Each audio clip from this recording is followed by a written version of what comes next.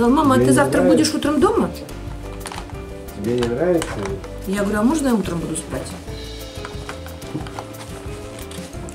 Так и живем. Добрый вечер, дорогие друзья. Это вечерний чай. Я хотела бы сегодня продолжить разговор по поводу нашего с вами не омоложения, а сохранения молодости. А если сказать точнее, в принципе, сохранение жизни.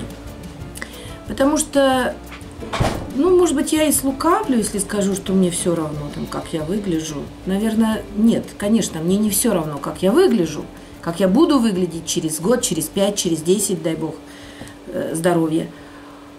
Э, Но для меня был всегда важен очень внутренний фактор.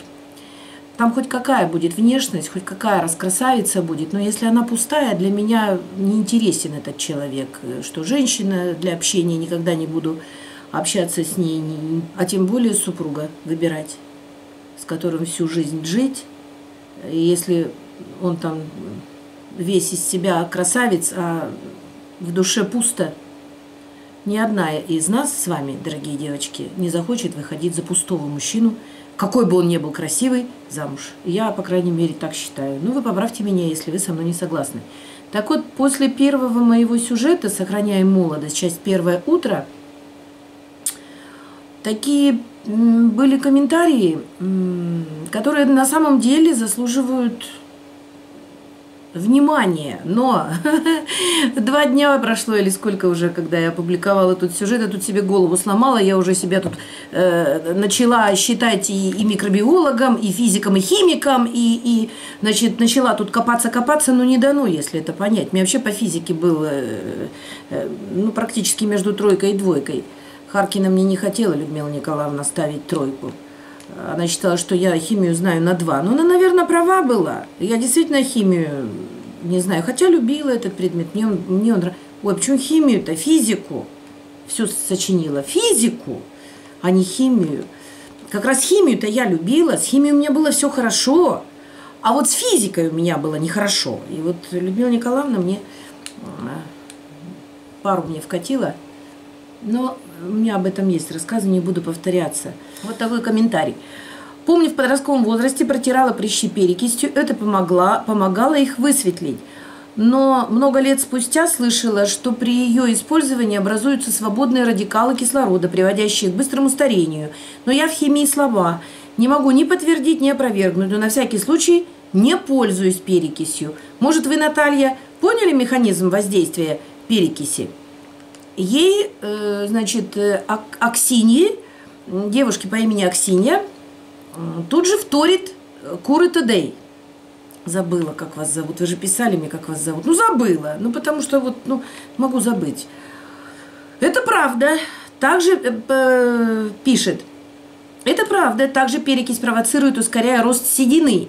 А я не знала. И когда пришла ранняя седина, около 20 лет, я стала волосы обесцвечивать перекисью, что яро усилило седину. Знала бы, выбрала бы краситель без перекиси, например, хна.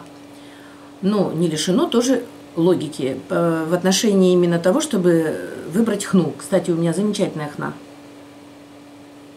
Я привезла из Баку иранскую хну, но я ни разу ей еще не красилась. Не знаю. Может быть, рыжий когда-нибудь захочу стать. Теперь, видите, у меня уже... Я с почином один раз покрасилась, теперь меня и Остапа понесло. Так вот я... Ой, сколько же я тут поперечитала. Чего я только тут, вот Аксинья, значит, Куры Тудей, значит, все. И, много вообще вопросов. Люди, на самом деле, свободные радикалы и так далее, и так далее, и так далее. Я вам хочу что сказать что на самом деле, да, я же тут все же изучала два дня.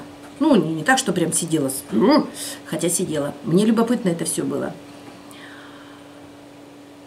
Но без свободных радикалов-то ведь невозможно. Другое дело, когда их много. Когда перебор с ними, со свободными радикалами. Тогда на самом деле они и э, клетки наши уничтожают, хотя в большей части пишут, что они уничтожают именно э, клетки зараженные, нехорошие, раковые, у нас у всех они есть, только кто-то их активирует. Знаете, как этот, э, как можно сравнить? Что что мы можем активировать файл или что мы можем активировать? Программу какую-нибудь? Активируем. Программу, да? Вот, например, да, скачали вы программу, и вот есть такой этот, такое окошечко, да, спрашивает, как там, разрешение, да? Разрешение. Вот если вы кликните, ну-ка выйди отсюда, она наказана, Сильва, бессовестно вообще. И если мы кликнем на это окошечко, мы допустим эту программу в свой компьютер, она начинает активироваться, и она начинает у нас в компьютере жить. И если, значит, э, ее нужно уничтожить, э, она нам потом по каким-то причинам не нужна, или там еще что-то там бывает, что они там не дружат с какими-то другими программами, Windows там, или она пиратская, или еще что-то, то даже если ее удалить, как старший мне говорит, мам, нужно вообще всю сносить систему и заново ее вообще переустанавливать. По крайней мере, я сказала, выйди отсюда. Игорь, закрой дверь, будь добр за ней. Э, простите. Так вот, эм, с раковыми клетками то же самое. Они у всех у нас есть, кто-то их активирует, кто-то нет. А актива активация их происходит э, э, элементарно совершенно.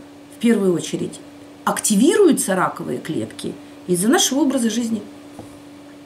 Вы можете спорить, можете не спорить, это не я придумала. Я всегда считала, что эм, мое сохранение вот э, внешности, там, э, прекрасных ногтей, ну, волосы не очень, но тоже ничего. Там того пяточки, как у младенца, локти, как у младенца, понимаете, это все. Это все лично моя заслуга, забота моя о себе, о себе самой.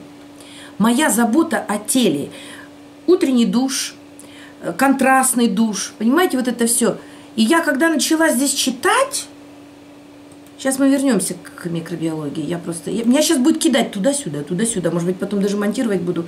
И то, о чем сейчас скажу, я в конец сюжета уберу. Но все равно, послушайте. А, вывод один. Это я уже себе тезис э, вытащила. Специально прям взяла и э, файлик положила этот текст. В зависимости от химического состава восстанавливаются как клетки того или иного органа или части тела – как и состав крови. Сразу вспомнила ящерицу, оторвали ей хвост, он у нее вырос. И самое главное, химический состав окружающей среды. То есть мы прочитали, что в зависимости от химического состава восстанавливается все. И клетки, и части тела, и наши органы, и состав крови. А теперь самое главное пишут. Химический состав окружающей среды. Это я у этих, у космонавтов я там прочитала, у них э, залезла прям к ним – туда, мне было любопытно. Химический состав окружающей среды любого органа или части тела зависит, как вы думаете, от чего? От pH? Нет. От э, гемоглобина? Нет. От холестерина? Нет. От э, там лейкоцитов, там красных там телец, там еще каких там телец, еще там чего-то? Нет. Ответ на поверхности. Зависит только от эмоций. Вы понимаете? От эмоций. Ну, не я придумала. Я когда прочитала, прям запрыгала от радости. Думаю, да, конечно. Положительные эмоции сохраняют химическую среду, в которой происходит превращение, то бишь трансформация стволовых клеток в клетки любого органа или любой части тела. А отрицательные эмоции, наоборот, создают химическую среду, разрушающую клетки органов и частей тела и не дают развиваться, то бишь трансформироваться стволовым клеткам, которых достаточное количество в организме человека. Стволовые клетки или Камбиальные клетки или клетки камбия воспроизводятся как строительный материал самим организмом в неограниченном количестве. То есть либо вы жизнерадостный, ведете правильный образ жизни и не гундите по каждому поводу, и э, можете позволить себе где-то что-то и покушать, сейчас об этом поговорим, и ваши клетки самопроизводится, трансформируется, у вас, значит, где-то что-то отвалилось, у вас там э, э, все восстановилось, где-то еще что-то. Либо вы гундите и разрушаете сами себя. Всегда говорила. Всегда говорила, ну тут на научном, на научном уже, понимаете, вот научный сайт, все тут как положено. Космонавты. Вот э, дальше читаю. Я сейчас только побольше сделаю. Э, этот же сайт. Предлагают рассмотреть пример. Следующий пример. Кстати, я пью чай Вы знаете, кто смотрит мои сюжеты со стевией. Стевия – это стопроцентная щелочь и ноль калорий. Итак, читаю. После полугодового пребывания в космосе у космонавтов происходит уменьшение плотности костей до 25% в нижней части тела, приводящего к снижению их прочности, благодаря чему увеличивается вероятность их перелома. В скобках остеопороз. Обычно симптомы остеопороза появляются у женщин между 50 и 75 годами. Две совершенно разные группы людей, но одно и то же заболевание. Что общего между тренированными космонавтами и женщинами климактерического периода? Возраста. Общее – это отрицательные эмоции. Космонавт, космонавтам, тренирующимся на тренажерах до седьмого пота, не удается избежать того же, что и женщинам, которые ничего не делают, считая себя старыми. Почему? Потому что отрицательные эмоции – которые не рассматриваются при длительном пребывании в космосе, оказывают воздействие на организм тренированных космонавтов, принося в жертву самую невостребованную часть тела – это ноги. В невесомости по кораблю перемещаются с помощью рук, и поэтому в кистях Ой, и поэтому, и поэтому в костях ног на 20% плотность меньше, чем плотность костей верхней части тела в руках. Женщины, считающие себя уже старыми, не живут половой жизнью, мало двигаются, сидят за компьютером сутками, смотрят сериалы. И мозг отдает, принося в жертву нижнюю часть тела, ноги, которыми меньше всего пользуются. Итак, остеопороз – есть строительный материал стволовые клетки, но химическая среда в обоих описанных случаях создается отрицательными эмоциями, стволовые клетки не развиваются, то есть не превращаются, не трансформируются в клетки костной ткани, поэтому появляется заболевание. Сделанное мною открытие в области медицины и разработанный метод индивидуальной психотерапии позволяет в короткий срок научиться чувствовать себя хорошо, управлять своими приятными эмоциями. В результате меняется химический состав и восстанавливаются миелиновые клетки при рассеянном склерозе, восстанавливаются клетки поджелудочной железы при сахарном диабете, прекращается рост злокачественных клеток при онкологии, мышцы сердца восстанавливаются при заболевании сердца – Увеличивается размер груди у женщин, развиваются половые органы как у женщин, так и у мужчин и так далее, так далее, так далее.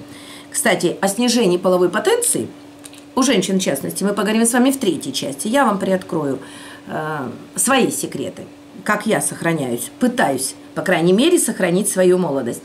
Потому что все это не только э, не лишено логики, это все чистейшая совершенно правда, сто процентов, тысячепроцентная. Итак, вернемся с вами к свободным радикалам. В малом количестве они необходимы нашему организму, потому что только при их участии иммунная система может бороться с вирусами и болезнетворными микроорганизмами. Но избыток их губителен, к сожалению – не собираюсь сейчас вдаваться э, в микробиологию, перечитала очень много. Но что я, возвращаясь э, к Неумывакину, что я для себя открыла, что я конкретно вот для себя я поняла. Я совершенно не собираюсь бояться э, этих э, свободных радикалов. Я вспомнила я вспомнила, как я разговаривала с медицинской сестрой э, в Обских плесах с Иринкой. Она э, высшей квалификации врач-анестезиолог.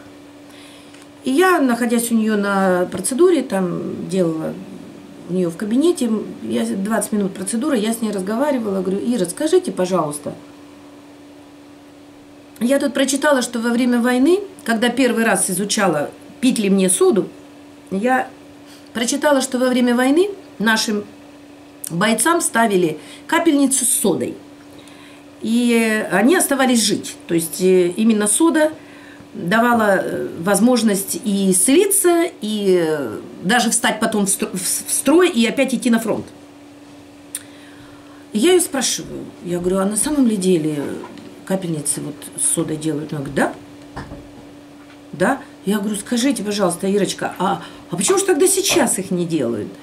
Но ведь это же эффективно очень, это же здорово. Ведь если сода входит в состав нашей крови, совершенно нормально, логично, объяснимо, что э, ее можно э, по вену, так сказать, вводить в вену, э, этот раствор содовый.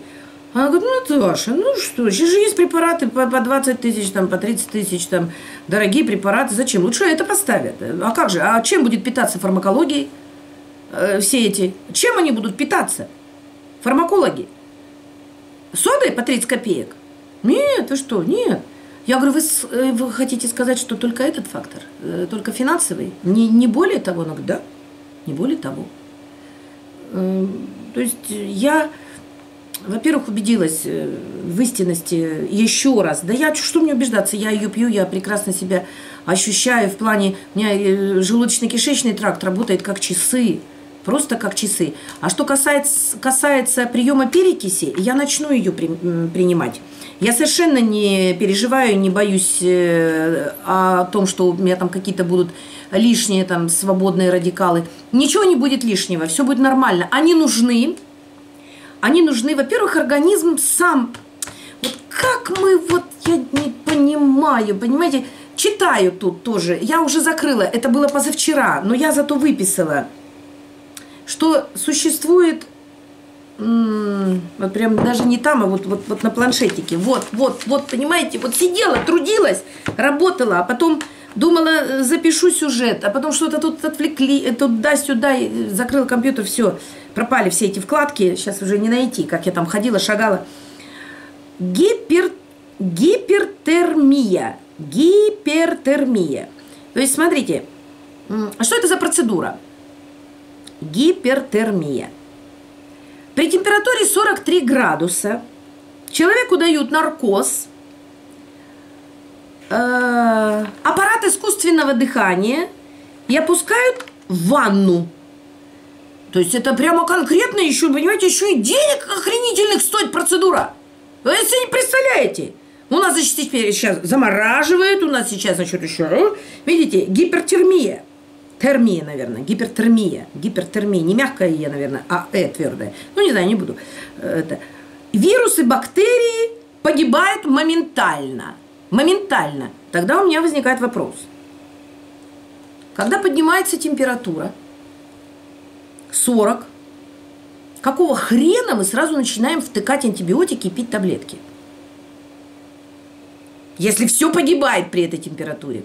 Все вирусы, все бактерии, они не живут в такой температуре. Зачем тогда э, нам втыкивают дрянь, которая нас губит? Все эти лекарственные препараты, все эти антибиотики против жизни. Против чего жизни? Против микробов они и так сдохнут – получается против того, что у нас там все еще нормально, и это тоже э, начинает подыхать, начинает бедный, бедный наш организм э, от, все, от всех этих антибиотиков выкомаривать, вы, выкручивать, и всякая разная аллергия вылазит, начинаем чесаться, начинаем по, по, этими пятнами покрываться, непонятно зачем. Я, я не знаю, зачем, зачем, если, главное, какой-то получается, это абсурд, парадокс. Парадокс. Здесь за деньги вам, значит, вас затолкают в 43, а если у вас на самом деле эта температура за 40 зашкаливает, вам будут втыкать э, антибиотики. Где логика? Ничего не понимаю. Ага. Потом, значит, наткнулась на один сюжет, это очень интересный. Один из священников предложил, вот как раз по той теории, что именно в среде, то есть химический состав окружающей среды должен быть только положительные эмоции, да, то есть зависит от эмоций, положительные эмоции, только положительные эмоции. Вот священник что предложил, рассказывает с экрана женщина, надеваете на руку браслет, и никаких э, негативов вообще не говорите, вообще не говорите. Вот у меня там то все, или там, да задолбал ты меня, или еще, да как мне эти ФГОсы, как мне эти программы, как я устала их писать. То есть, понимаете, вот это вот все, вот это все сразу же разрушает наши стволовые клетки. Сразу же, автоматически. Просто разрушает. И вот как только, допустим, человек сказал, он говорит, вы перевес... 21 день нужно, э, значит, только э, как бы идет восстановление клеток. 21 день. Этот браслет, если вы сказали что-то негативное, вы его опять переставляете на другую руку и начинаете заново. И начинаете заново. То есть все, и получается, что э, 21 день вы должны вот кровь из носу выдержать и говорить только, только положительные вещи. Мне сегодня, допустим, очень больно, э, близкий человек оскорбил, э, нанес мне больно, но я это воспринимаю, понимаете, как э, не, не им сказанное, потому что я человек верующий. В человека просто в данный момент э, влез лукавый, э, бесы, понимаете, через него взяли, вот мне вот эту гадость сказали для того, чтобы меня как бы вот э, вывести из себя, для того, чтобы я поулыбалась и сказала, говорю, иди с миром. Я говорю, это не ты сказал. Это не ты сказал, ты такого сказать просто не можешь, это, это невозможно такое услышать от э, близкого человека, невозможно такое услышать. Я говорю, это не ты сказал, и все, и он рот закрыл, понимаете? То есть и я не, это самое, не ушла в какие-то вот э, нехорошие эмоции и не пожелала ничего плохого. То есть все, все нормализовалось, все было хорошо. Поэтому, э, как, э, когда человек злой, когда человек, все, он, вот, э, говорила во многих я сюжетах о том, что вот эти морщины, вот эти морщины, которые опускаются вниз у женщины, она же сразу же она же сразу же старой становится. Э, возьмите все эти вот страшные фильмы, э, эти, э, которые олицетворяют смерть, там или еще, кстати, по поводу смерти, есть замечательная притча, она замечательная, прекрасная девушка по этой притче, и мы ее такой сделали, старой коргой. Я как-нибудь будет время, я поделюсь с вами этим. Так вот, понимаете, вот эти морщины опускаются. От чего опускаются? Потому что человек не улыбается, потому что нет никаких положительных эмоций. Никаких положительных эмоций. Ой, да, итак, вернемся к, к нашим свободным радикалам, к нашей перекиси. Вот смотрите, кислород клетки необходим. Но избыток кислорода тоже вреден, потому что мы знаем с вами много... Почему в свое время, когда Фаберлик косметика, это же кислородная была косметика, но она и есть сейчас, я не знаю, как они сейчас называют, убрали ли они слово это кислородная косметика. По этому поводу тоже, между прочим, было очень много разных разговоров, что, дескать, вот зачем нам избыточный кислород, туда же, понимаете, типа вот кислородная косметика, кто что говорил. Я просто не пользовалась и, и ничего не говорила. И не, не, втор, не вторгалась в это. Если бы я пользовалась косметическими средствами, я бы, конечно, бы изучала бы, там смотрела что я, в принципе, считаю абсолютно излишним, а оно нам не нужно. Никакие космические, э, косметические средства. Он маслом намазал опять витамином Е себе. Так мягенько, так хорошо, никаких проблем вообще. Витамин А, витамин Е, чередуйте масляные и, в, и на глаза, и под глаза, и, и, и все. И замечательно.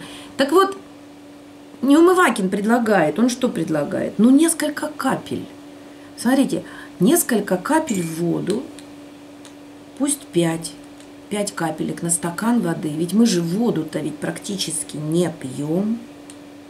Мы же ничего не делаем для себя. Мы пытаемся разобраться в микробиологии. Мы пытаемся, значит, выяснить, что же там эти свободные радикалы, без которых мы не можем вообще жить. Они нам нужны, так же, как воздух, как все, понимаете, как солнце, как воздух. Нам нужны эти свободные радикалы.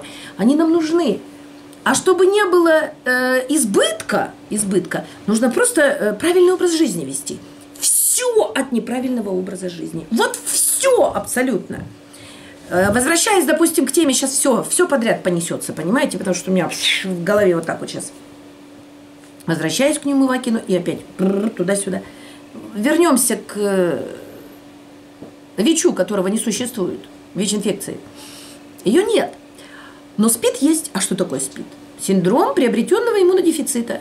То есть человек лишает себя иммунитета из-за неправильного образа жизни. А вы думали ВИЧ для того, чтобы, значит, поиметь хорошие деньги. Вот и все. И э, частично, значит, уничтожить э, часть человечества, посадив его на препараты, на специальные от того, чего нет. И получается, что человек э, лишает себя иммунитета сам то есть человек самоуничтожается. Самоуничтожается. Тоже не новость. Мы уничтожаем себя сами. Какой образ жизни ведем, как мы с вами питаемся, как мы с вами, что мы едим, что мы пьем, то мы получаем. То мы получаем. Поэтому, конечно, эм, я соду пью. Вот правильно пью, как, как эм, рекомендовано. Четко выдерживаю время, чтобы потом покушать. У меня, я чувствую себя очень хорошо в плане киш... желудочно-кишечного тракта, хотя мне в 2002 году поставили язву, и когда, когда меня, мне задали вопрос, я попала в реанимацию от переутомляемости, от невероятной совершенно. И для того, чтобы на следующий день вести высокопоставленному чиновнику банкет, я поперлась в нашу клинику, недалеко от Пионерского лагеря, где я работала. И мне передозировали меня, новокаиновую блокаду делали на позвоночнике и передозировали меня. И у меня гипертонический криз, у меня... Я не теряла сознание. Но когда лежала, мне говорили там медсестры на, на, на этом самом, на посту, подойди, посмотри, там она там у нас живая. Ну, то есть я это все слышала. я, я лежала, думаю, нет, ничего подобного, сейчас мы вылезем. То есть я, понимаете, я, это я сейчас знаю, что у меня стволовые клетки там работали, знаете, на моем оптимизме, на моей среде положительной такой, э, оптимистичной среде. Говорю, не дождетесь, сейчас. Вот, так, э, а, и вот тогда, когда меня потом перевели в палату интенсивной терапии после реанимации, когда меня заставили все пройти, э, всех врачей, вообще все, Э, здоровых людей, в принципе, нет. понимаете, это нормальное явление. Но я не знаю, я сейчас вот, вот буду считать себя, не знаю, той же самой ящерицей, которая отращивает себе хвост. Это все, что мне надо. Я вот раз сейчас, вот я еще больше буду оптимизировать все, я не буду вообще обращать внимание ни на что негативное. Вот не чихать я хотела. Надо программы писать, я буду писать, я буду улыбаться и буду писать. Надо, еще надо писать. Сейчас вот выйду на работу после больничного, буду еще писать. Надо еще переписать. 10 журналов, перепишу. Перепишу. Ничего страшного. Так вот, эм... что говорила? А, ну-ка давайте там меня поставьте на место. О чем я говорила? Э, а, вот. И я когда э, ФГС, меня отправили на ФГС, ужасная процедура, и мне говорит врач, скажите, пожалуйста, как давно у вас язва? Я говорю, чего? Ну, у вас, говорит, там вот рубец, у вас язва. Как давно? Она сейчас в стадии ремиссии. Как давно? Я говорю, знаете, я не знаю, я от вас первый раз слышу, что у меня вообще язва. Что было? Когда было? Он говорит, она у вас зарубцована, у вас там все хорошо, у вас ремиссия, все. Ну, а когда было-то? Я говорю, да откуда я знаю, что ко мне пристали-то? Я от вас первый, первый раз слышу, что у меня вообще язва. То есть я к врачам не ходила, э, карточка у меня... Сейчас я вам покажу. Она тоненькая, вот, вот такая вот карточка. Тоненькая-тоненькая карточка. То есть, э, да, было три реанимации, и все. А потом, значит, э, первый раз мне сказали, да, там на терапию мне сказала э, врач, очень такая махровая еврейка, сказала, квашеную капусту ешь и клевер настаивай на водке и пей, значит, там по чуть-чуть, значит, этот клевер настоянный. Сосуды будут, говорит, как канаты. А это все выбросив в помойку, я говорю, вот спасибо-то, вот как хорошо попало, да, вот повезло. Мне другая бы сказала, там, вам еще рецептик, еще рецептик, еще рецептик, и еще и все от рецептиков от этих. Так что спасибо не надо. Э, опять что такое? А, так, вот, э, желудочно-кишечный тракт. И э, я с тех пор я не ходила, мне, мне 2002, сейчас 2017. Я чихать хотела на это, на все. У меня там просто все, у меня там нет ничего сейчас. И когда ну, по, по карточке там, вот, э, типа хроника, да, а, я говорю, да нет у меня ничего. Я говорю, я просто... Мне говорят, ну у вас же здесь написано. Я говорю, ну мало ли что написано. Я-то чувствую, что у меня ее нет. И не будет никогда, потому что я ее просто не приму. Она как-то влезла в меня, понимаете, как-то там вот побыла, побыла немножечко. Сама по себе зарубцевалась, потому что я ее зарубцевала своим характером, своим отношением, своим поведением, своей энергетикой – все это, и все. Но переутомляемость, да. Вот чего не должно быть, понимаете? Чего вот чего не должно быть. Поэтому, когда мы с вами пьем э, соду, я ее гашу. Спрашивают меня, здесь тоже задавали вопрос, Наташа, как вы ее пьете? Ну, это желудочно-кишечный тракт, там э, все-таки сода, там. Я говорю, ну так мы же ее гасим. Лимон – это стопроцентная щелочь. Я туда добавляю, выжимаю немножечко, несколько капелек. Приятно пьется, нормально пьется. Ну почему вы газировку пьете с содовой? Почему вы не можете сода, стакан содой выпить гашеной? Не знаю, какие у вас проблемы. Лимонады, значит, все эти, которые стопроцентная кислота. То есть вы пьете пепсиколы там и всю эту дрянь, всю эту гадость. А, значит, стаканчик соды насыпать и лимончика капнуть. Свой лимонад. Вы почему-то не пьете, считаете, что это плохо мне будет. Ничего не плохо. Все зашибись. А стул-то какой замечательный. А как все прямо как по часам. Все, никаких проблем вообще. Э, просто... Сейчас вспомнила. Анекдот вспомнила. Женщина э, килограмм 100 пришла в, трена... в тренажерный зал. Ой, как жарко и гореха у нас, а. У нас то холодно было, теперь жарко. Ну, на улице плюс, плюс один. В тренажерный зал пришла, крутит обруч, подходит подходит к ней э, тренер. Э, она говорит, ну как? Я правильно делаю. Он забирает у нее обруч, говорит, Персик, иди домой, не порть фигуру, иди, иди домой. Ну так. Итак, э, что касается все-таки, возвращаемся перекиси.